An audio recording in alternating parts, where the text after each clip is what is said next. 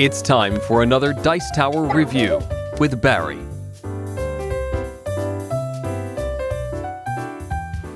Hello chaps and chappets, it's been a long time, but as you can see I've been busy working here in my new house in Winterfell.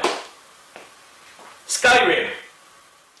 No, it's a black, it's a garage really, and it's being transformed into my sulking room where I'll be coming to do reviews.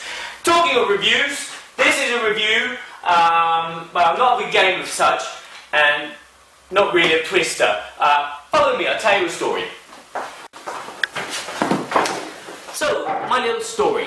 When we used to play board games, uh, to decide who was to go first, I'd get Twister out, I'd get the little spinner out, we sit in the middle, spin it, and where it pointed was the start player.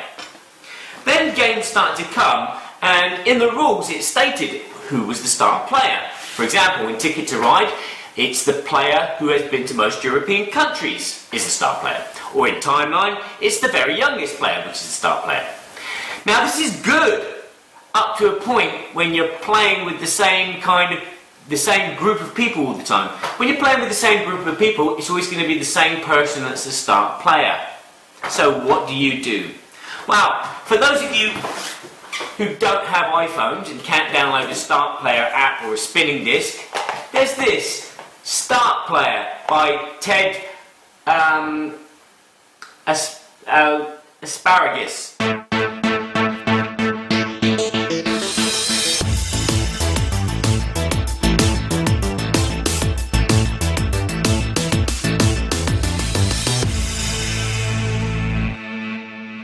So in the box, you will find a deck of 54 cards, a starter player meeple, which as you can see is a bit faded. Um, that's how it came. And of course the rules. And I have to tell you, this is my French version. I haven't got an English version. Let's do it. Let's do a Tom Vasel. Woohoo! 54 cards and a meeple. Is that all this is? Well, yes. Basically, it's just for deciding who the start player is. Now, the good thing about these cards is they come with two ways of figuring out your start player. You have a text here which you read aloud, and that will apply, and then you have this little arrow which works in the kind of the same way as the twister. Let's have a closer look at these cards. So, how does start player work? Well, basically, you get the deck of cards, you give them a shuffle, and you place them in the middle of the table in between all the players. And then you, as players, decide whether you're going to follow the arrow or follow the text. And then one player will turn over the top card. And then, if you're following the arrow, for example, and the arrow is pointing this way, that means that the player who it's pointing at is the start player. Simple as that. If there is equality, it's in between, then you take another card and follow the arrow again. Or you follow the text. Now let me read this in my really bad French. Okay.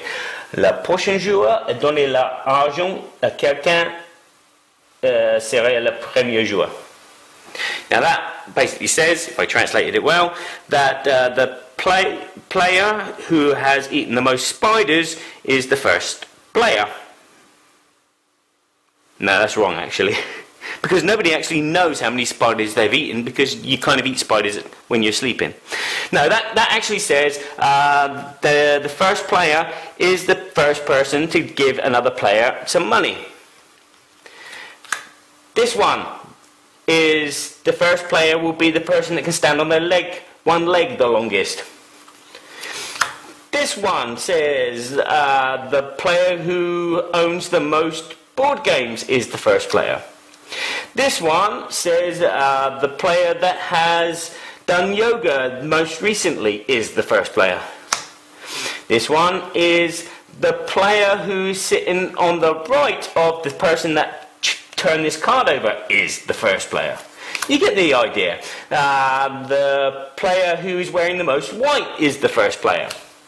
This one is the player who is the tallest is the first player. This one is the player with the biggest feet is the first player. Now, as you can see, there's a kind of theme. And they're kind of deno- denoted with these coloured meeples in the bottom. These green ones are about you personally. These red ones are about things that you've done. These yellow ones are uh, about things in your life. And then these blue ones are action ones. So if there's things like you don't like, like I don't like these action ones, I take these blue ones out because they're quite easy to, to sort out from the rest of the cards. So there you go, that's Start Player. So what do I think of Start Player? Well, I think that is a board game application which everybody should use. It is useful, it is funny, it is amusing. Um, you could do without maybe certain categories, like the physical ones, the standing on one leg. But the good thing is they're labelled what colour they are, so you can remove them and just shuffle the deck, put it in and take another one which is about your personality or about what you did recently. The cards are of good quality, the artwork is humorous and it uses obviously board game kind of objects. Um, as you saw my start player Meeple was a bit worn colour wise, don't know why. Um, but again, there's a lot of variety there. The other good thing about Start Player is that I can get it out and not scare anyone. Unlike when I get Twister out, and that scares everyone when you think, oh, we're going to play a game. Oh, he's got Twister out. Oh my god.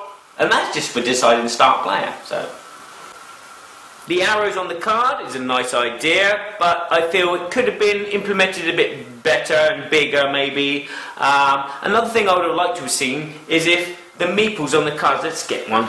So, like, there you go. There's, there's a meeple on this card, a yellow one. If you turn it over and you see a meeple on the card and whatever colour it is, if you pick your colours before playing the game, whatever colour you are, if it matches, then you're the start player. So in this case, yellow would be. I find it very useful and I use it practically most of the time when we're playing games. Obviously, there's some games which you can't decide the start player. Say, for example, uh, the Game of Thrones um, card game. But it is useful. Uh, one thing that doesn't does strike me a bit bizarre is it says it's for 14 years and up, uh, which is why my seven-year-old daughter likes reading the cards, and she especially likes reading the card which says, oh, the person that's just spoken to their mother most recently is the star player. And that would be her, because mother's playing as well.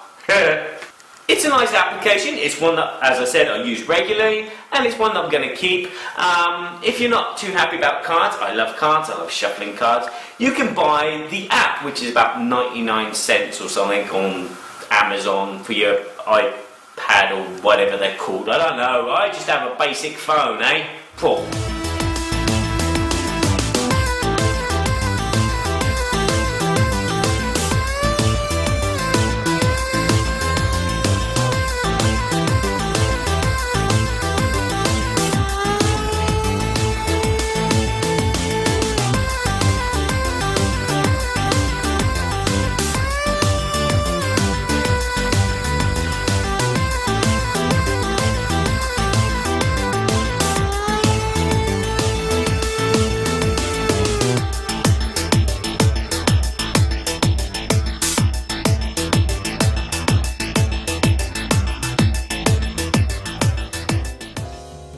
Thanks for watching our review today. For more information about board games, as well as the number one board game audio podcast, check out Dicetower.com for reviews, interviews, and more. I'm Eric Summerer, and you've been watching The Dice Tower.